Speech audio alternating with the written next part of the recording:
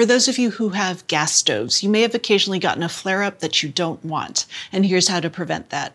Those flare ups are caused when water vapor carries tiny droplets of oil above the flame. So you should pat your food dry to minimize the amount of water in that skillet and use just the amount of oil you need. Don't have a ton of extra oil that might catch.